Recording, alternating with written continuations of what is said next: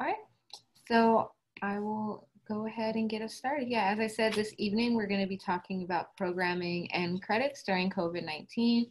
Um, our amazing presenters.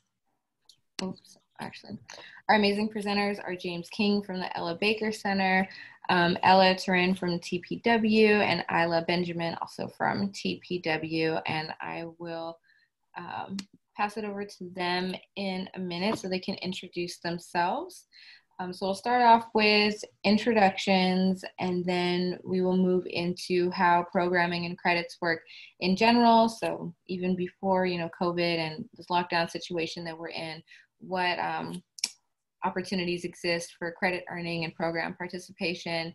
Then um, the folks from DP, TPW will take over and talk about the role of community-based organizations and um, what modified programming is looking like now and what ongoing conversations are with CDCR to improve it.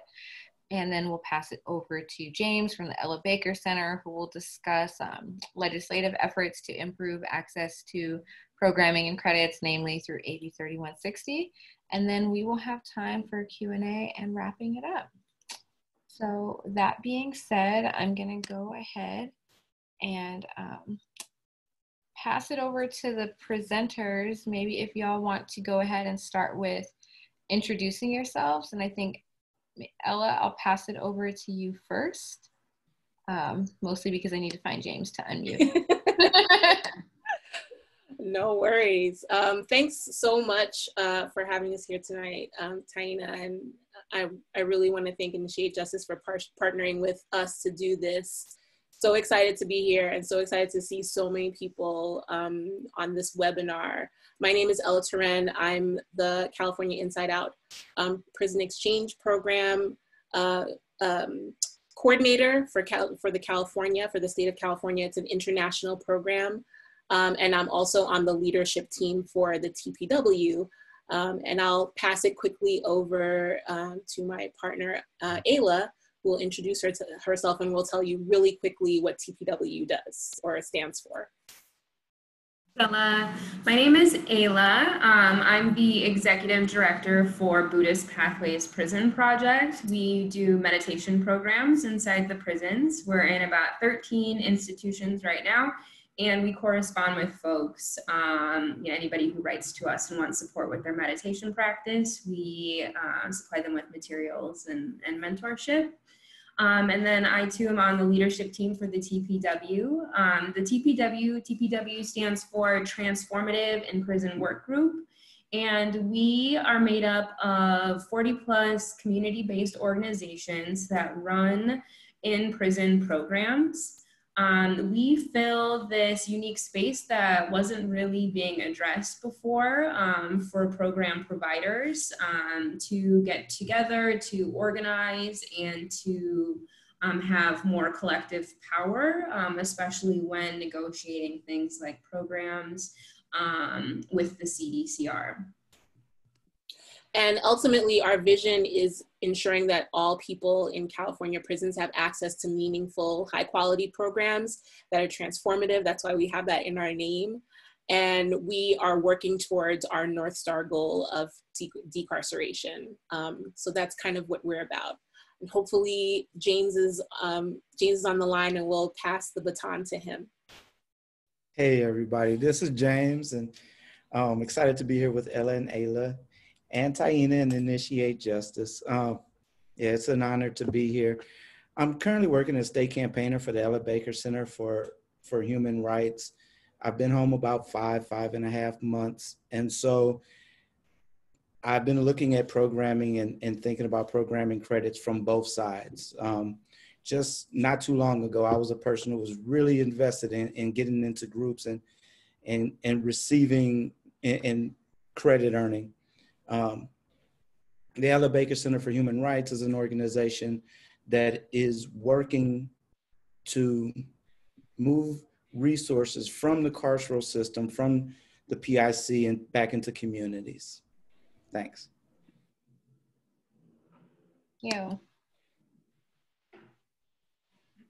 All right, so now we're um, going to go into kind of a high level overview of programs that are offered inside of prison, um, and they're grouped into these four different categories. Um, so the first type of program that we'll talk about are these activity groups.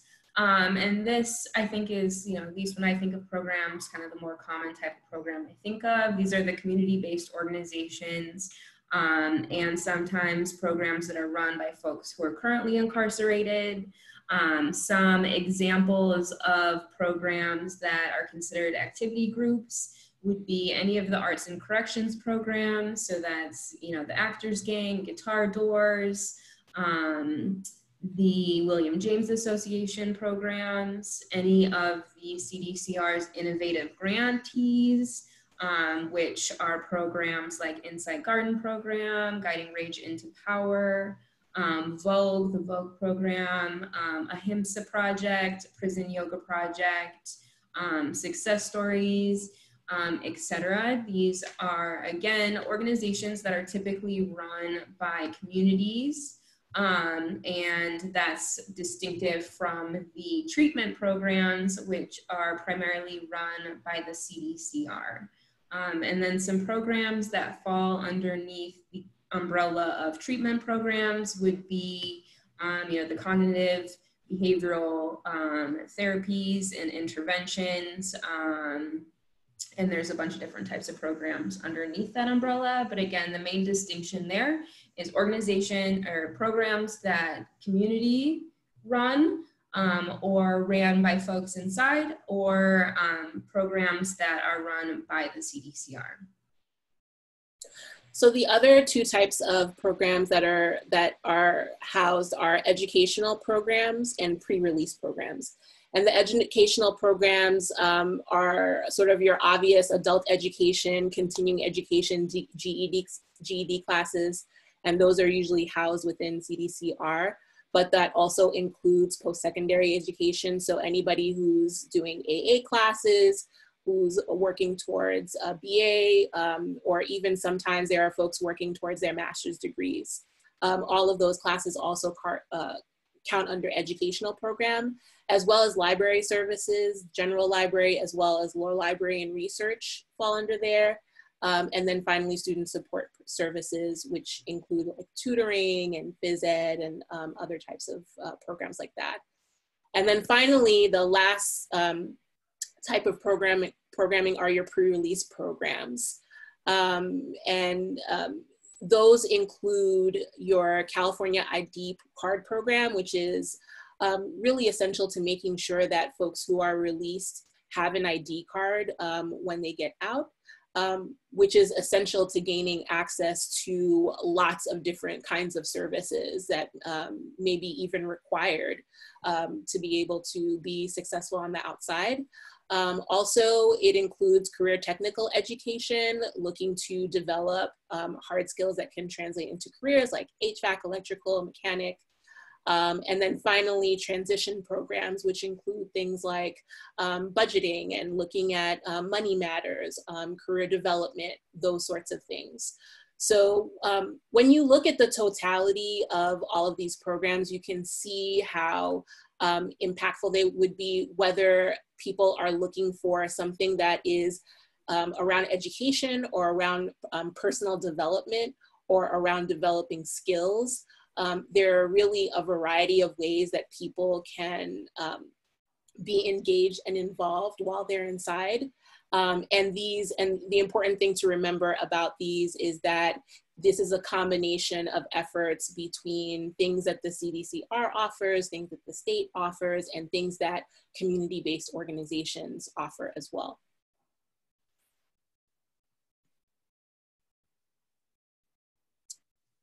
So now we're going to talk a little bit about um, credits and um, how the programs tie in with how you earn credits. And this is a really important piece. Um, and I think James pointed to it a little bit um, ago. When Prop 57 passed, they made it possible to expand the amount of credits that people are earning towards their release. And this is really critical to a lot of folks um, not only to ensure that they are able to participate in the programs um, and that they are, you know, doing things to, you know, further themselves in different ways, but also because being able to participate in these programs allows folks to um, accumulate um, what we're calling credits, um, which leads to an earlier release. So there are five types, they're listed here, good conduct, extraordinary conduct, milestone, RAC, which stands for rehabilitative um, achievement credits, and educational merit. Um, and I'm gonna pass it to Ayla, who's gonna talk about a couple of them, and then I'll talk about the rest of them. Thank you. Um, so one of the, the good conduct credit, also known as good time credit, um, this is a credit that folks get um, and it's awarded kind of no matter what unless you have behavioral issues or write-ups um, and so you know there's a percentage amount of time um, that automatically gets calculated um, when someone becomes incarcerated um, and that's the good the good conduct credit. So again, it's awarded um, right off the bat unless there are issues while people are incarcerated. Um, the amount of time goes down even more if you go to fire camp, um, and it varies the amount of time that people can earn off. Um, varies based on um, if it's a violent crime, um, if it's uh, what's considered to be a nonviolent second striker crime. So that would mean um, there was a violent crime in the past, but this current incarceration experience um, was nonviolent. So then you get a little bit less. Um, and then for non-serious, non-violent, you get the most amount of time off, kind of right off the bat. Um, so, you know, as we're thinking about how these um, credit, how credit earning relates to COVID 19, this is one type of credit that people are still able to earn um, because, again, you earn this just right off the bat from um, when you become incarcerated, you only get it taken away. Um, another type of credit that people are able to earn is this extraordinary credit.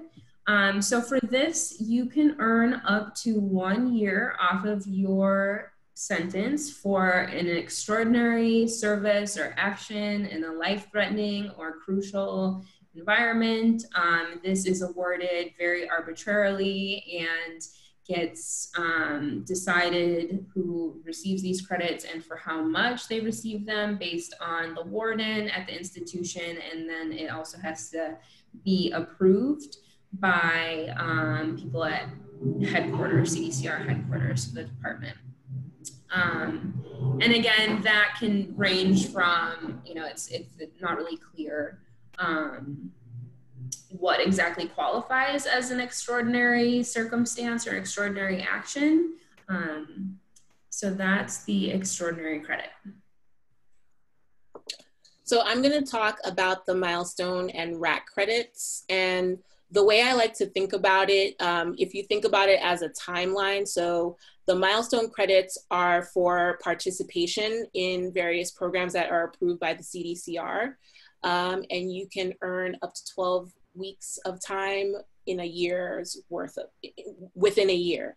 Um, so you, but you have to be accumulating the time and the hours by participating in the programs, and that's how you earn, earn the milestone credits. Whereas the educational merit credits, they are awarded upon the completion of a degree. Like when you get a GED, if you get an, a, an AA degree, if you get a BA degree, you can earn educational merit um, up to six months of that. And, but the, the tricky part is that um, I know a lot of folks who I know who have multiple AA degrees and you can only earn the educational merit for the first time you get it. Um, so even if you have three, you're, you're not getting three um, educational merits for every AA degree you have. You only get the first one and then the next different kind of degree that you get, then you get another educational merit for that. Um, so that's important to note. But what's really good about it is that you can be earning credits while participating something from the milestone side. And then once you finish um, an actual program and get that degree, you can then get the educational merit from that. And then the last type of credit um, is the rehabilitative achievement credit, so RAC credits. And these are particularly important for community based organizations because they're awarded to individuals um, for participating in self help groups.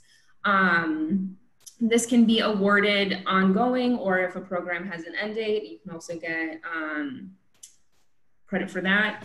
Um, individuals, so this is important because individuals have to be actively participating in groups to receive these credits. Um, and the approval of which groups receive RAC credits is another thing that varies a lot based on each institution. Um, so programs have to get approved for RAC credits um, at each institution it's in.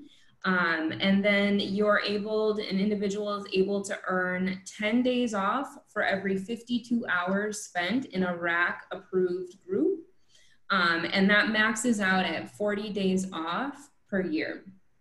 Um, also important to note about RAC credits that if um, incarcerated individuals are running a program inside without a brown card sponsor um, or a staff sponsor, they're not eligible for RAC credits. And um, again, it varies a lot who gets RAC credits and which programs get them. But once you have RAC credits, um, if people are participating, you get you get credit for that time.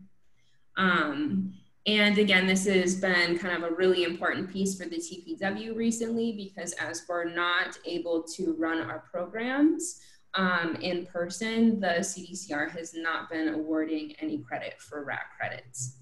Um, also worth noting that for lifers and youth offenders, um, the credit earning varies. So if someone is uh, has a life without parole sentence, or if they're on death row, they are not eligible to earn credits. Um, and then for youth offenders, as of now, um, credit earning is not, you're not eligible to earn credits um, towards your parole board date. Um, so youth offenders also don't qualify for earning these credits. So some of the things that we want to lift up um, as part of this is to kind of understand from the from the Prop 57 perspective and what the state law mandates. It gives the CDCR a lot of flexibility um, towards determining how the policy is actually going to be administered. So in the state law, um, it talks about um, awarding credits under certain conditions to prison inmates that reduce the time they must serve in prison. That's directly from the law itself. And this is one of the things um, that we have been struggling with because um, since CDCR, um, they're the ones who are actually proposing how the policy rolls out. Um, sometimes that makes it difficult to make changes to the policy or um, advocate for the things that we are needing, which we'll talk about in a little bit. Um, they are able to make changes through the policy, usually through emergency regulations. Um, and again, one of the things that we want to be sure that folks know is that it's really up to them how those changes are rolled out. And um, it's very specifically, you know, the power for this very specifically is with Ralph Diaz. He ultimately has the ability to kind of flip the switch on any type of credit earning. Um, so now we can kind of shift to talk about some of what's been going on with community-based organizations um, in this time of COVID and how this has impacted some of what we're doing um, in general, kind of some of what the TPW is doing. So again, TPW is made up of 40 plus community-based organizations that run in-prison programs all throughout the state of California. We represent um, members who are have a presence in all of the California state prisons, all 35. Um, and the TPW as a work group has um, been operating as a united front in front of the legislature and the CDCR to help kind of shift, you know, how people are thinking about folks who are incarcerated, how folks are thinking about prison programming, and um, really kind of bringing to the light the service that many of these programs are providing towards rehabilitation and healing, and again, working towards our North Star goal of decarceration. Um, so in light of COVID-19, you know, we've seen many organizations have been pivoting to try and meet the needs of folks inside and our program participants. Um, many organizations have shifted to corresponding via mail. Um, and we have had many, many barriers and obstacles to doing that successfully. So the TPW has taken on a role of kind of facing the CDCR, bringing up demands and negotiations, requests um, for how we are able to run our program successfully and to try and ensure that even though we're not able to physically go inside of prison right now to deliver programs, that all of the folks who are incarcerated in California continue to have access. Um, and um, another thing to note about the TPW, again, we um, have a leadership team that um, has various committees um, that are focused on things such as advocacy, specifically kind of building a new narrative around incarceration, um, and then mobilizing. So we have focus groups working in all of those areas. So some of those areas include our, um, besides our leadership team, we have a few committees that are working on, on um, different kinds of uh, projects. We have research and communication. Um, we have an advocacy, advocate, advocacy committee and a mobilization committee that are doing work to um, provide information to our members as well as um, organizing um, our members to see what kind of advocacy and action needs to be taken, um, as well as to see what kind of messaging um, we need to do, whether it's to funders or to the CDCR um, or to other stakeholders. And also, we love doing things like this, collaborating with groups that are also doing this kind of work and seeing where we can leverage our collective power um, to make changes within the system. Um, as you can imagine, because of um, COVID 19, there have been a, a, lot of pauses to the work that our members have been doing. And initially, you know, we were involved in advocating for shifting um, resources to the groups who are part of our membership. So things like um, helping to secure $5 million in permanent funding for programs. Um, and this, this, that, that um, happened last year and it resulted in um, the, the development of the CARE grants. And what was really great about that is not only were we able to actually help get that, get that money for the uh, groups who are our members, but we also um, helped, um, we had a hand in helping in the development of the community that decides where that money is going. Um, and that's really important because we had certain criteria that we felt um, were going to be crucial for ensuring that the money went to where it was supposed to go. But now in these current times, because there's so much um, desire and, and sort of like angst from our members about what's happening with their programming, we've really shifted our organizing towards making sure that the programs that have been providing all of uh, the services that we've been talking about are still able to do that. And our conversations with, um, with the CDCR have been open, but they've been challenging in some ways um, because they're dealing with a lot of things, and we're trying to really um, push advocacy for our own groups. But um, as you can imagine, we haven't been able to get everything we, that we want. Um, so we've been diligently working and organizing um, with our members and other groups to kind of see what we can do and um, the ideas that we have for um, how to ensure that programming continues and people are able to get credits are on the next slide. So some of the um, things that um, we've kind of been talking about are ways to ensure that even with um, uh, you know the limited distancing the social distancing that is required and really what happened from the beginning um, of the pandemic is that programs folks who are volunteers of these programs um, uh, employees of the community-based organizations were just straight up not allowed to go um, into um, the facilities anymore um, as was the case with people who are visiting loved ones and um, and trying to provide other kinds of services. So we really had to try to think and be creative and get feedback from our members to think about like in in in this time of social distancing and all these limitations how can we still um, be able to deliver the programming so that there is no negative impact on the folks who are inside so i'm going to pass it off to um, ayla who's going to start um, so again, these are these are some of the demands that you know are based on what organizations have determined they need to run the programs, and these are things that we have already taken to the CDCR to ask for, um, but have gotten you know very little traction with them. So we've um, pushed for um, expanding access to tablets. Um, and iPads, ways that programming can be delivered remotely. Um, we you know kind of they, we've seen this happen in some institutions. We've seen this happening more and more with higher education. Um, and so we are asking for that to be accessible to all uh, individuals inside right now Um, our next thing is um, JPay and email, so figuring out digital ways that people can continue to correspond.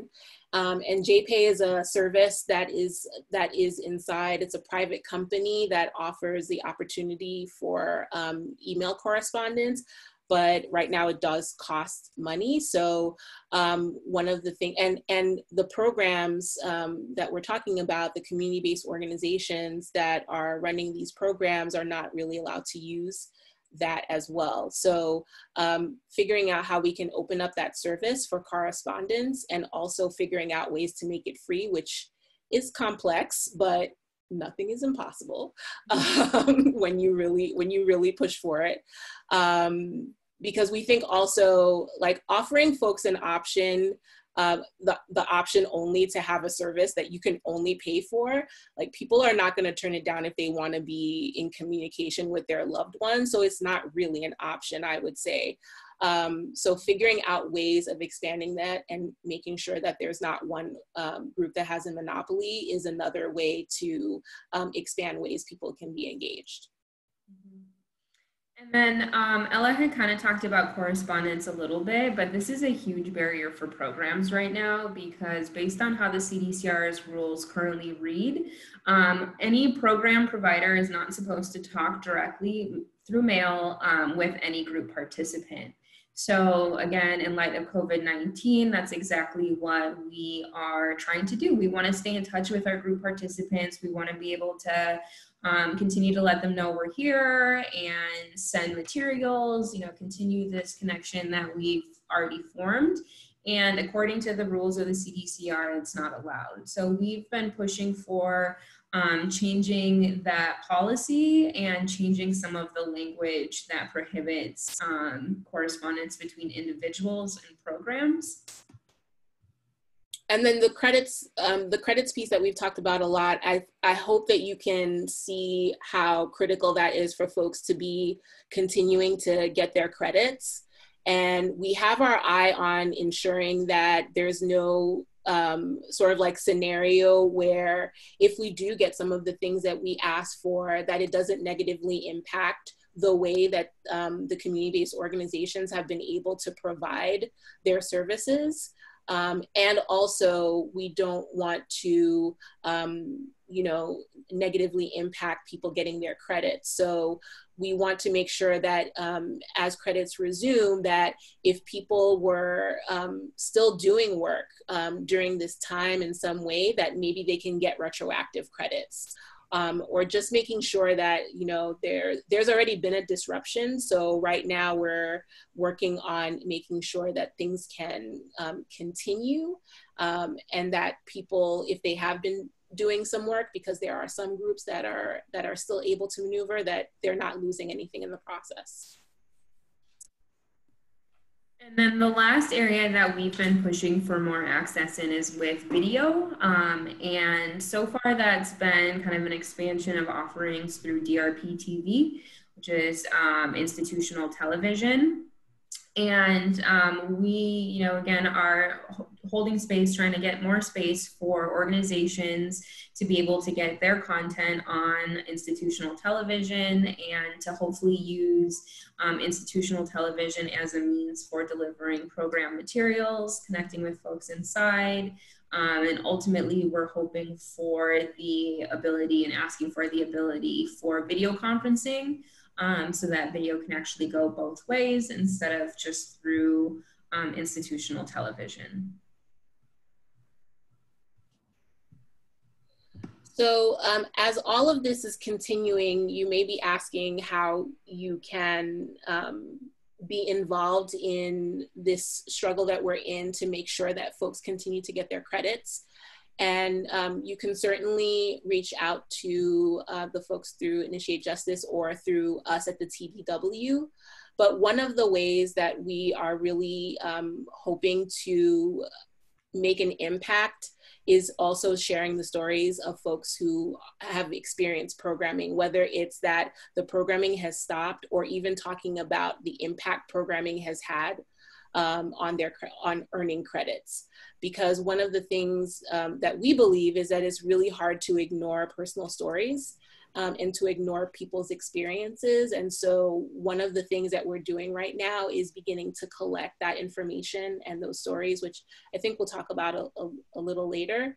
Um, to ensure that you know when we're in front of folks like the CDCR or other legislators in the state that we are able to accurately represent what what folks experiences are on the inside um, and to be able to demonstrate exactly um, how this is impacting them by not being able to get the credits.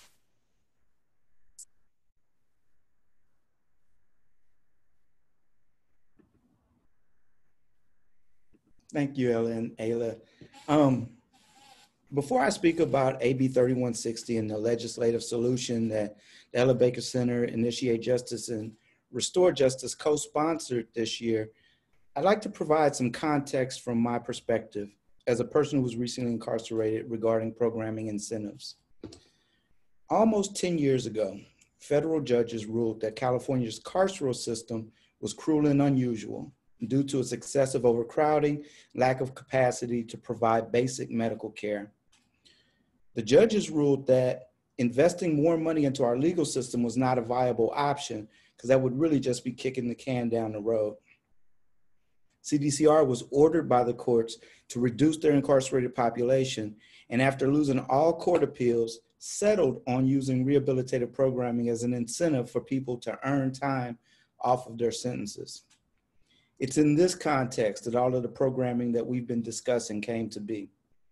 I just want to stress CDCR did not create rehabilitative programming, uh, so called self help groups, and pathways for people to earn time off of their sentences because they care about our loved ones and want to see people return home as soon as possible.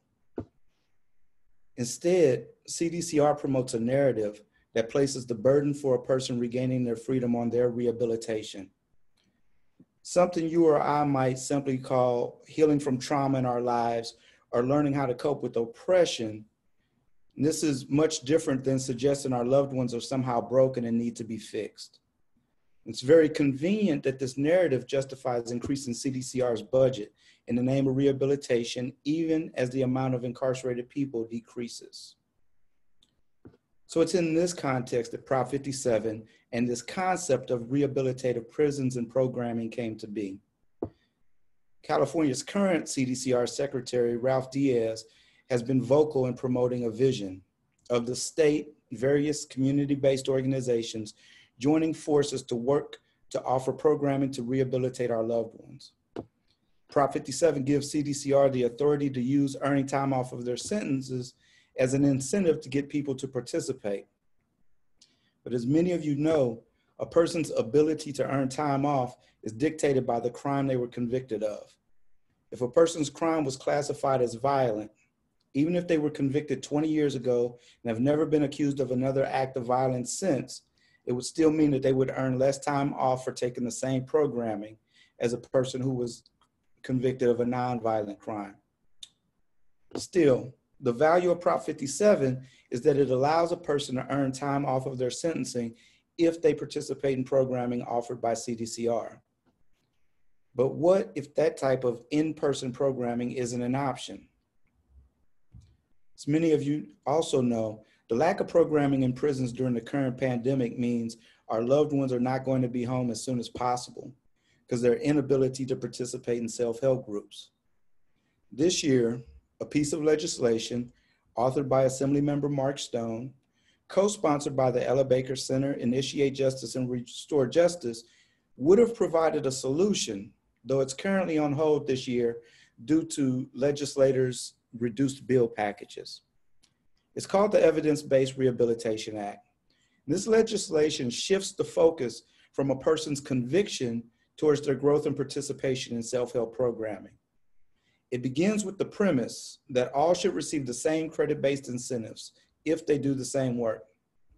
It wouldn't matter if they were convicted of a non-violent, non-serious, or violent and serious act. If you take the group and do the work, you should receive the same credit. Secondly, the bill directs CDCR to offer programming even when it's not their priority.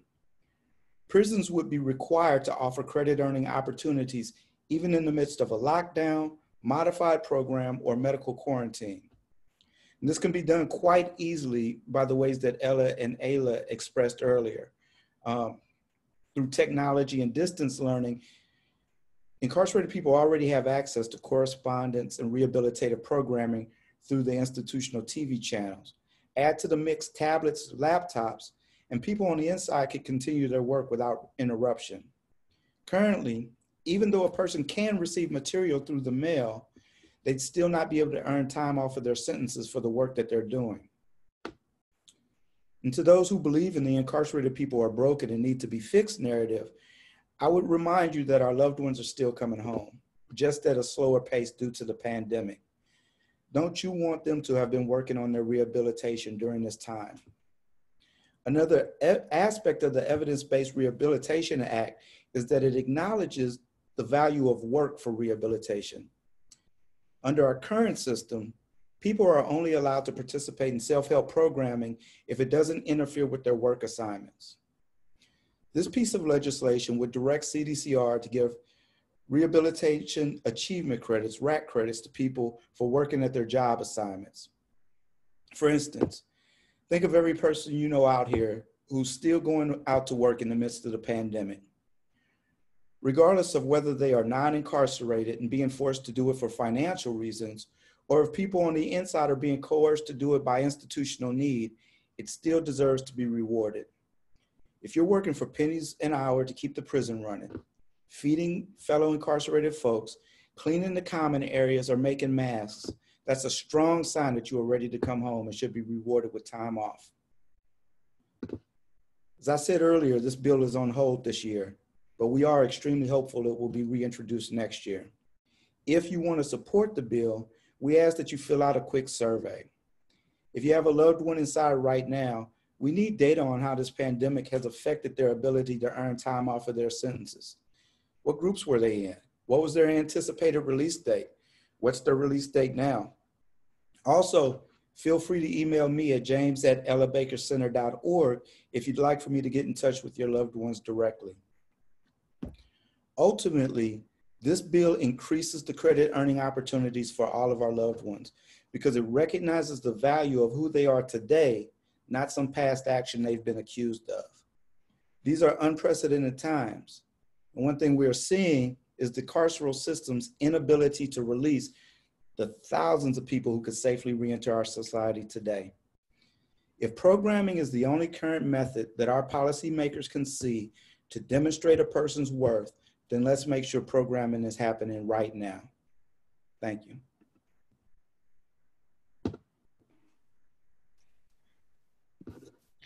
All right, thank you so much to our amazing facilitators. Thank you for all the way breaking down how programming and credits works and also like what opportunities we have now to um, push CDCR to make sure that folks are still getting credits and having access to programs and um, letting us know what we can do to be involved in the legislative process as well. Um, Greg dropped the link to that survey that James mentioned in the chat box, so please feel free to go ahead and click on it, copy and paste it, put it in your put it somewhere because um, you're not going to be able to click it as easily once this is over. But another thing that we can do is go ahead and um, email the link to the folks who are on this call afterwards. But you know, please make sure you do that as soon as possible. Um, James put James's email address is um, James at Ella Baker Center. There you go.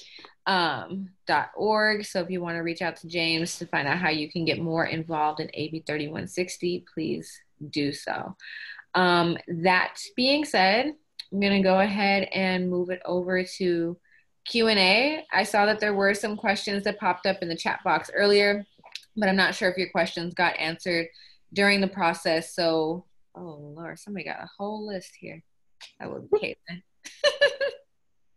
Caitlin's probably typing the whole time. Um, so if you have a question, please feel free to drop them, or you could be like Caitlin and and drop your itemized list. Um, so go ahead, facilitators. I will I think all of you should be unmuted and I will go ahead and um, pass it over to you to respond to the question.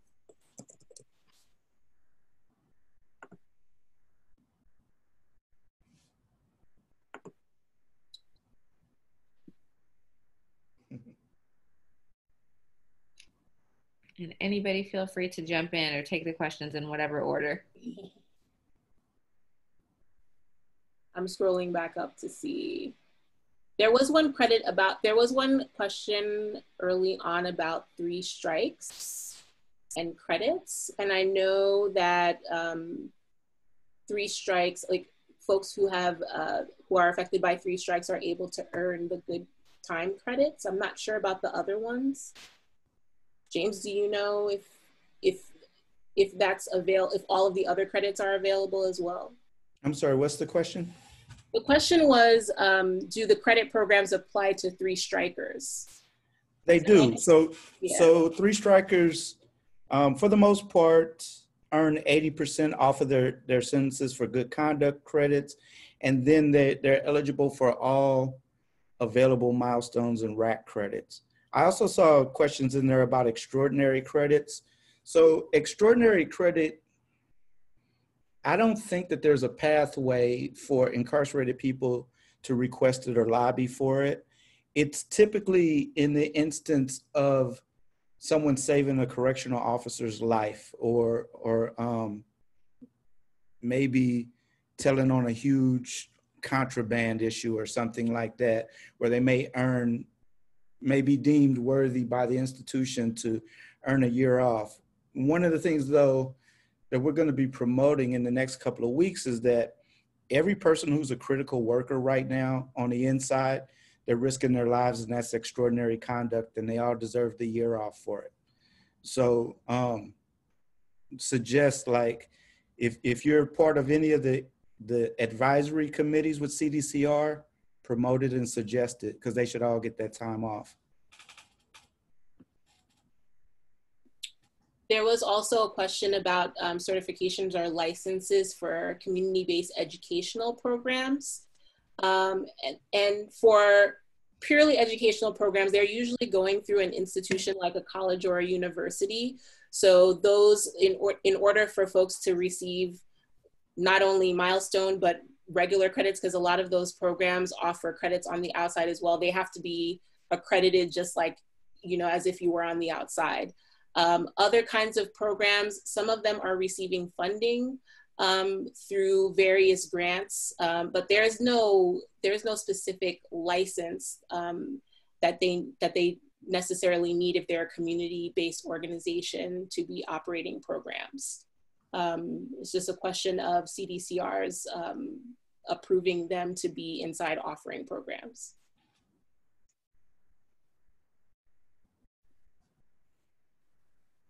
question that just came in about CBOs for membership in TPW. Um, we're open to you know any community-based organization that um, is willing to sign on to our values. We have a very clear value statement that states you know what we stand for, what we're working towards, and if there's an organization or an individual that is providing programs and wants to be part of what we're doing, um, absolutely they can request to join.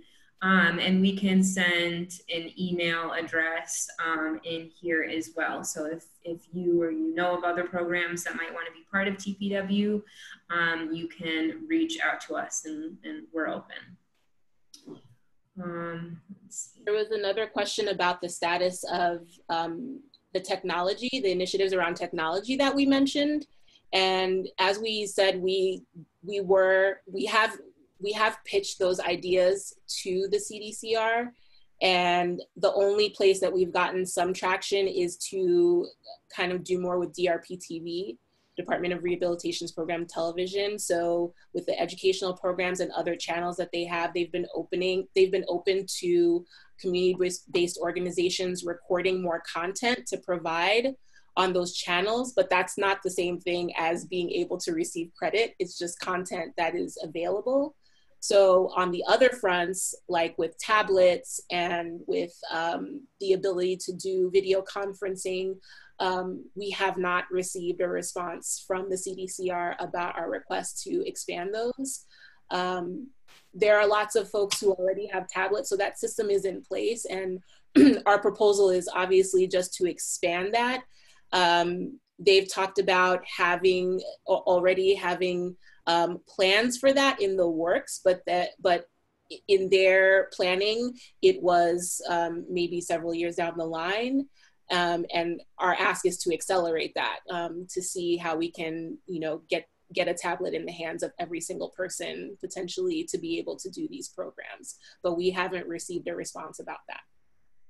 I would add on to that just a little bit too that actually in this most recent budget revise um, that the CDCR has actually taken money away from expanding the use of tablets and computers um, in particular for educational programs. So that's really unfortunate. Um, again it doesn't affect what currently is already in existence within the CDCR but it just makes it that much harder for us to um, push for that access at least if we're trying to get it paid for by the CDCR.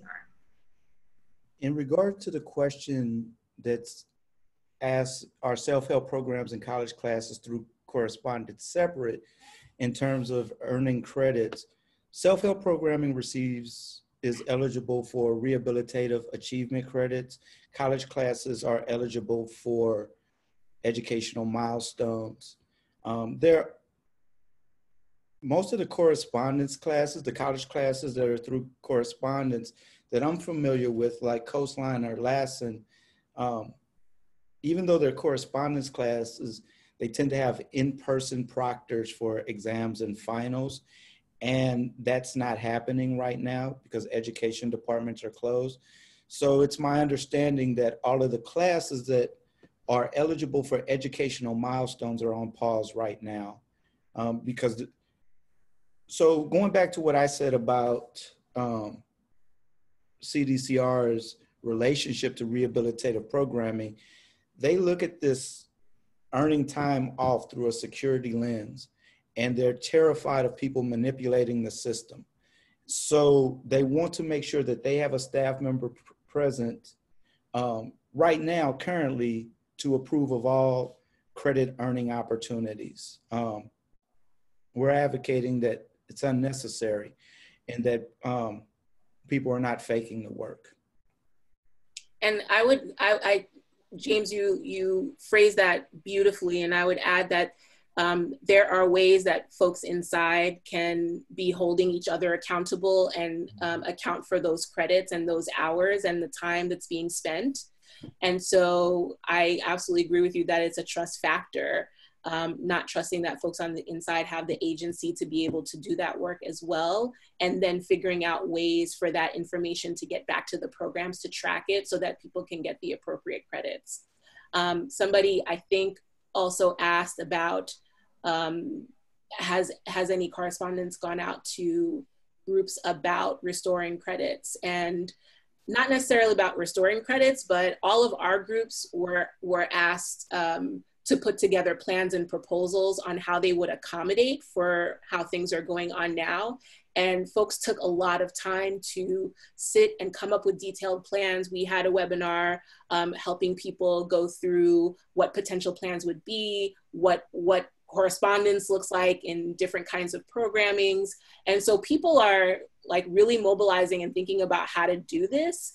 But on the other end, we haven't received a sort of like widespread response that gives the green light um, and offers a way for um, all of the programs to continue what they're doing. And right now, the community-based organizations are just having to go facility by facility to try to work with different um, administrators within the facilities to make their programs work and that's really not sustainable it's a lot more burden on them than being able to get you know one kind of like sweeping green light for everybody to be able to do what they need to do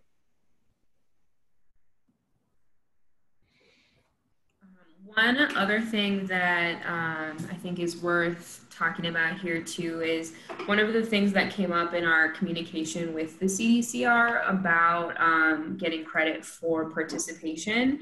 They didn't seem to think we could prove um, what they would call like meaningful participation. Um, and you know, again, part of what we have been countering with is that, you know, any sort of communication during this time, as long as it's focused on the program, should be considered meaningful. Um, and I saw some questions kind of in there too about, you know, what is being done, what current advocacy is being done. And, you know, when we, um, heard about James's bill, we were like, hell yes, this is what we've been waiting for. We're going to rally, go hard on this one. And now, since that's not live, um, we are considering some other approaches. So, again, if this is something you feel really strongly about or you want to rally behind and um, help support restoring some of these credits, um, again, Ralph Diaz holds the power right now. He's able to restore RAC credits through emergency regulations. Um, and so we're hoping to um, find ways to apply a little bit more uh, urgency to him to make those changes. I also wanted to add just really quick onto what James said earlier about, because um, I think you're, you're, when you talked about the context of why this is so important, that was really essential you know, I've experienced um, folks who I know who have been in fire camp, and my program does education. So we train um, folks to teach classes inside with college students um, and students who are inside. And people have had to make choices because, you know, CDCR won't let them work and be in school or be in fire camp and um, take classes or do a training. And so it's really prohibitive if um, folks are ready and willing to do these various programs um, when you're uh, butting up against sort of like administrative hassles and scheduling, but then also not making it easy for people to earn the credits that they need. Um, it's very it's very burdensome. Um, so being able to alleviate that through legislation, but also through policy, through CDCR policy, is going to be critical.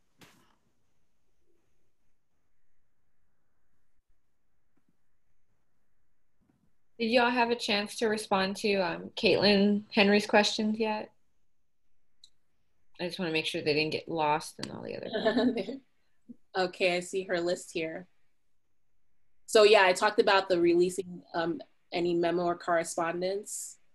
Um, and um, from what I understand, um, the CDCR does have a, a, an email newsletter that they send out on a regular basis that has information about um, updates about what they're doing. And um, there's also um, one that goes out to folks who have grants and are doing and or are doing programs um, that may be a more um, uh, closely knit group of people or um, more um, selective group of people who are getting that information, but they are sending out information um, on a regular basis.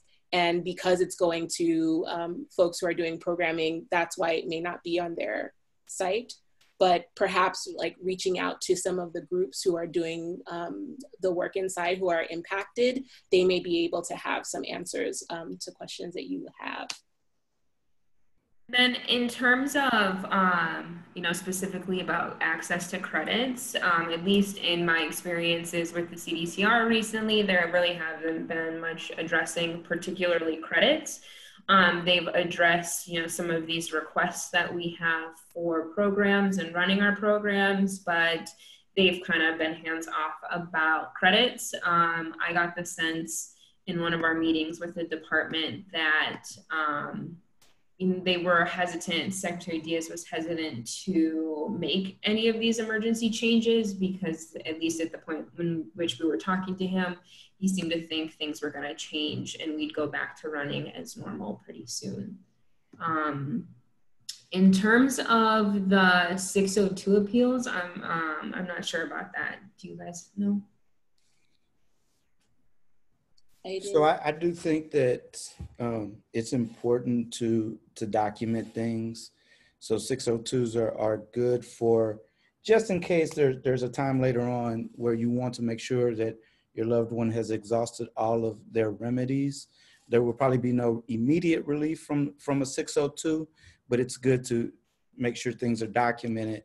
And I want to go back to the question. I've seen a, like a lot of versions of the question, what about programming in the future? Um, so right now, there's a judge, his name is Tigar, Judge Tigar, who is looking at CDCR's plan for physical distancing during this, this pandemic. And I'm about to drop his um, contact information in the, in the chat. They're having a hearing tomorrow where CDCR is going to promote their, their plan. And if you have a loved one who is having a, a, reduced quality of life who's who's not able to access programming and rehabilitation it's good to reach out to judge tigar to let him know um, so that they can get a, that judge can get a full vision of what cdcr is doing and what they aren't doing right now. The fact that people are not earning able to access prop 57 in a meaningful way right now the fact that they don't have access to even if they're doing rehabilitative programming through correspondence or, or through the institutional channels, they're not able to be, um, to earn the credits that they would normally get for that work. It is really important as a part of the story of what's going on in our current reality. Um, I personally am not optimistic that, that um, organizations will be allowed in um, this year. So that means that based upon our current methods, the CDCR's current methods of rewarding credits, people are not going to have the same opportunities that they had. Therefore, it's, it's important to reach out to the um, reach out to the judge, reach out to. Um, that's one way that we can have influence and, and weigh in on this. Oh, and, and the other question as it relates to, to federal prisons, um, Prop 57 and the and the incentive-based programming credits, as far as I know, are not a part of the federal system. So um, I don't think very much of what we're talking about right now applies on a federal level. So, and, and going back to Judge Tigar and the question of, of what can programs do in terms of Judge Tigar? What he's looking at is um, the CDCR's plan to flatten the curve inside. Part of flattening the curve inside is getting people out. You can't really flatten it with the amount and numbers of people that we have inside right now. Um, one of the the the pathway that CDCR has put most of their energy in for people to get out is rehabilitative programming, and that's not running right now. So this is something I think it's important that he knows and hears from from people about. I also think it's worth um, saying again to how you know many community-based organizations that run in prison programs have pivoted. They are still you know in touch with program participants and shifting their programs to be able to run via correspondence. And um, there are many organizations that you know still want to be able to provide these services even though they're not able to physically be inside right now. And so again there's this it's kind of stuck on this issue about RAC credits and how um, you know both sides are willing and ready and doing the work together. So let's just award credit for what they're already doing. Um, and you know many organizations again kind of based on this unprecedented time are shifting how they're doing things so that they can continue to provide this type of support for folks inside kind of no matter what else is going on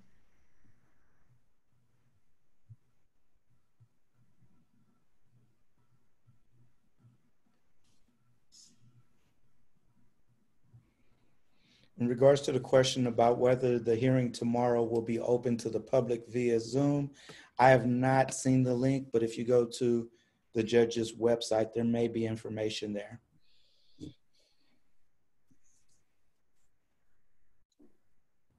think that's covered almost everything. It's hard to scroll through and see if we meet we missed anything, but thanks for your great questions, everyone, and for folks who are providing additional information as well to, to supplement what we're saying. Thank you so much. And um, while the TPW at this particular moment in time um, doesn't, we're not quite ready to say exactly what we're going to be doing um, in response to kind of advocating more for RAC credits. This is something that we're actively planning and coordinating on as an organization. Um, but again, if you want to stay in touch with us, um, and get to hear what we're going to be doing. We'll be happy to share it out with this network as well. Um, and I put the email in there. It's a ways up, but that's kind of the general TPW um, email for folks.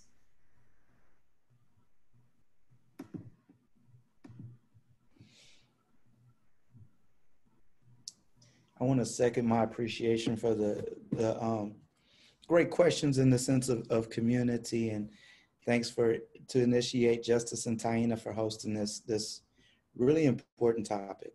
Thanks, Ty.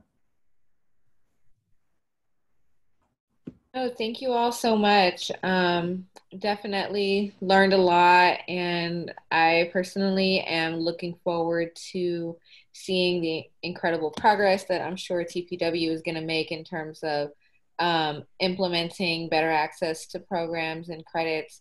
Just really want to emphasize, um, you know, how difficult it is already to work with CDCR and to get, um, you know, make sure that they're running the the programs correctly and making sure everybody is getting the credits that they're entitled to and given the crisis of this pandemic um, everything has been exacerbated. So shout out to tpw for really stepping it up and, and fighting hard to make sure that the people are getting the credit where the credit is due and also shout out to you james um, and everybody at ebc and you know restore justice who've been working really hard on AB 3160. Um, I also want to shout out Greg on our team, who's our policy associate, who's been the lead on 3160 and has been working really hard on it. So, yeah, um, if there are no more questions, I encourage everybody to take the survey um, so that we can have as much accurate information as possible as we move forward in these advocacy efforts. Um, contact information for everybody is here on this slide, so please feel free to reach out. And again, um, this webinar is recorded and it will be posted on the Initiate Justice website in the next couple of days. Um, but in the meantime, yeah, y'all enjoy your evenings. Wish you all the best and thank you so much to our incredible presenters. Thank you so much. Thank you. Stay safe, everybody. Be blessed.